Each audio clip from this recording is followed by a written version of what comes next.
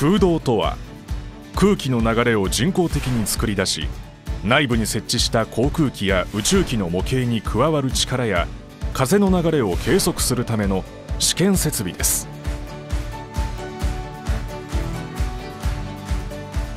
風洞の歴史は古く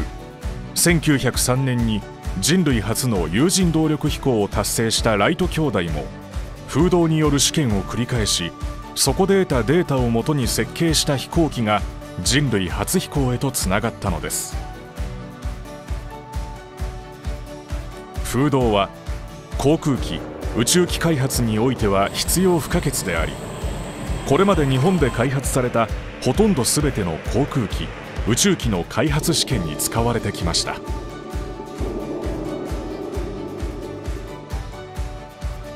今日までに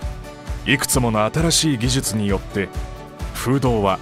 日々進化しています。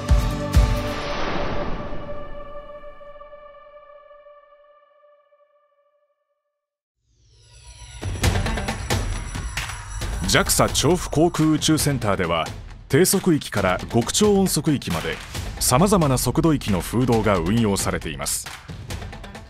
航空機の離着陸時やヘリコプターなどの低速飛行時の空力特性データを得ることができる低速風洞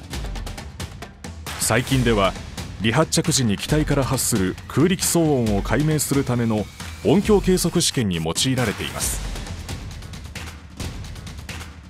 ジェット旅客機の巡航時のデータを取得することができる1000音速風洞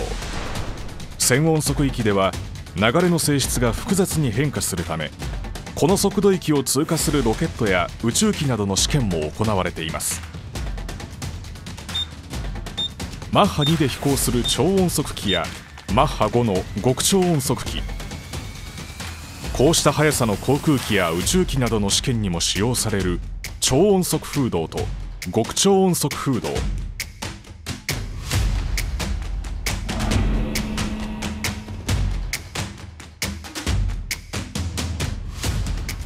そして大気圏再突入の状態を模擬した試験ができるアーク加熱風洞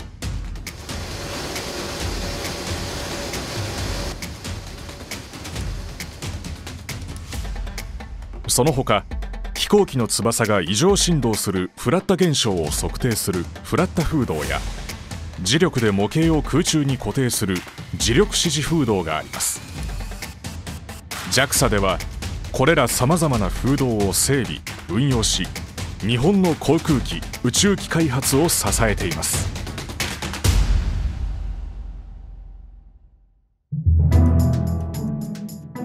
それでは風洞の試験がどのように行われているのか見てみましょう。ここは 2m×2m 1000音速風洞。マッハ0.1から1.4の範囲で長時間連続の試験ができる風洞です。カートと呼ばれる測定部の中では模型にかかる力を測る天秤に試験する模型を取り付けています。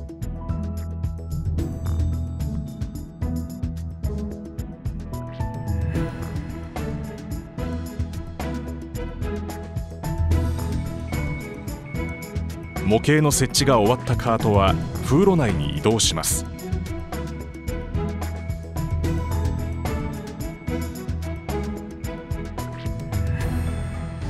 こうして試験の準備が整うと制御室で風洞を起動します。ファンが回転を始め風洞内に空気の流れを作り出しました。予定マッハ数に達すると計測を始めます。模型の姿勢を変えながら模型にかかる力や温度などのデータを記録していきます。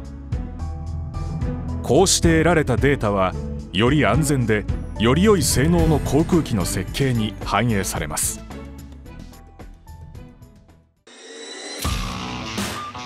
JAXA では風洞の運用だけにとどまらずその計測技術の向上にも取り組んできました。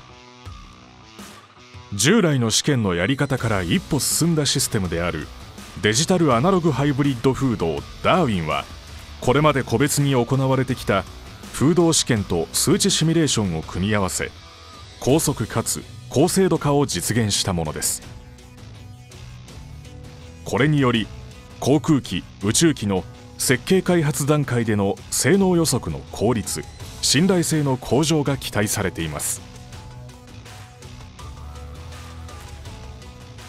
また風洞試験における計測技術では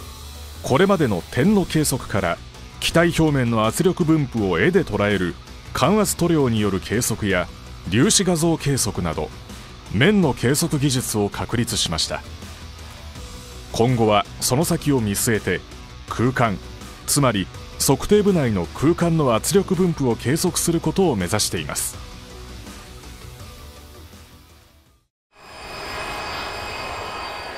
航空機の設計に必要な試験のデータ数は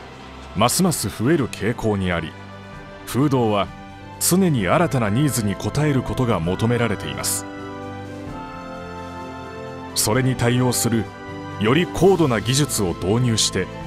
計測の精度とデータの生産性を高めた試験をできるようにするのが私たちの役割です。未来の航空機を